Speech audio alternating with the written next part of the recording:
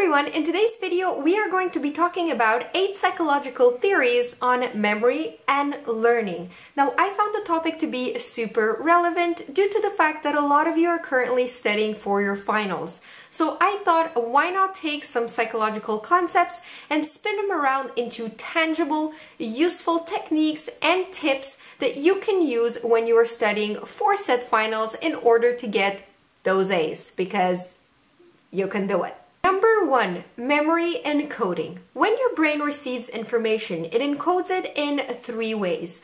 Visual, so pictures and images, acoustic, so sound, or semantic, that is meaning. Psychologists have found that the principal encoding system in long-term memory is, no surprise there, semantic. A way you can use this to your advantage and integrate this into your study routine is by just putting yourself into the material you're trying to study. You'd be surprised, but even just rewriting your notes in your own words can help put a part of you into the material, therefore have you more relatable to the material and to what you're trying to remember. Number two, Miller's Law. Have you ever wondered why Usually, phone numbers are seven digits long. Well, that probably has something to do with Miller's Law, which states that the average person can only remember up to seven items plus or minus two in their working or short-term memory. Once you know this, memorizing lists takes on a whole another level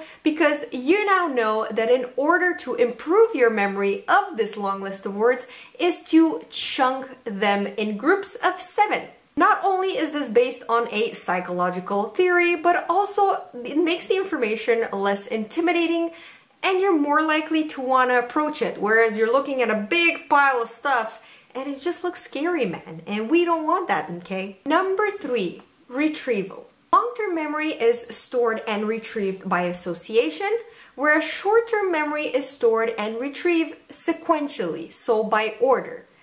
Two tips coming from this theory. Numero uno is my all-time favorite, which I've repeated in a number of videos, and that is try to recreate the environment or the mood or the scent or the sound of when you're learning a material versus when you have to do the test. It simply makes those associations and those connections and those links in the brain and they act as triggers.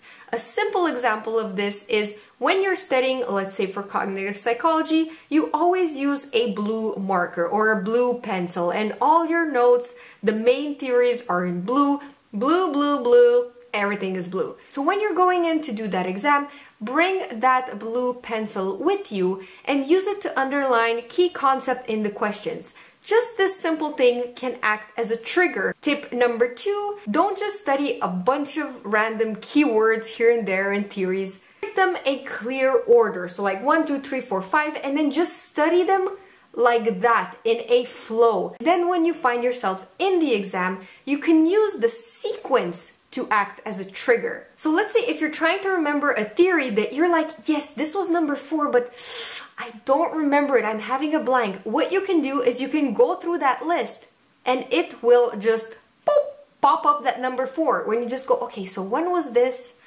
two was this, three was this, oh yeah, four was this one, I remember because you remember the order.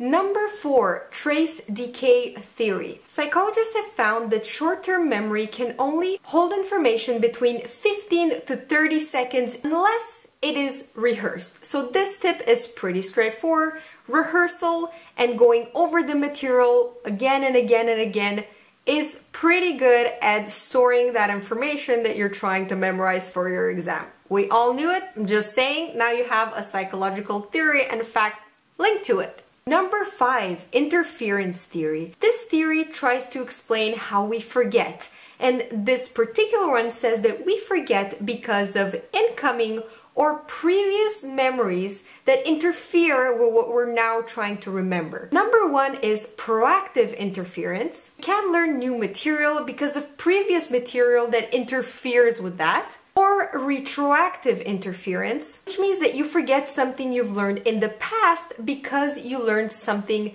now.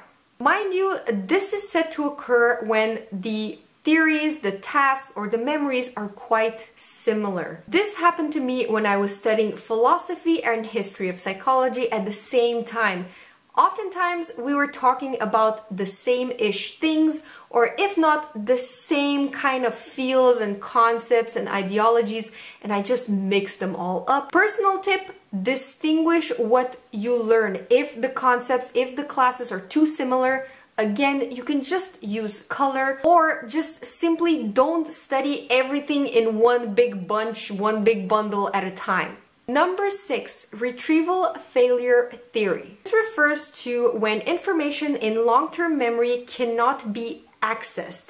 So when you draw blanks, it is in there, but you just can't access it. This is when you're just like, oh my God, I know this. It's at the tip of my tongue, but I don't know this. Psychologists suggest that to get this information out, you can use two types of cues either external cues or internal slash state cues. Call them cues, call them triggers. It is basically something that you associate with a memory or with something you learned. Smell, color, visuals, even moods, states, feelings. I know I'm kind of repeating this point, but it just comes to show how legit it is, cues and triggers if more than one psychological theory talks about its importance. Number seven, the von Restorff effect. This effect is pretty straightforward. It just says that we remember things that stand out.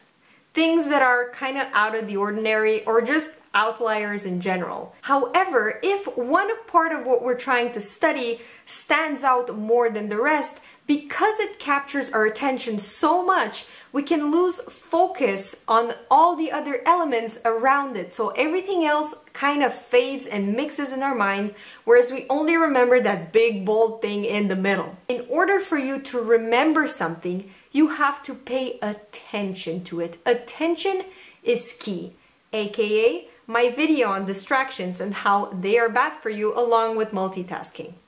Check it out it gonna help you a lot.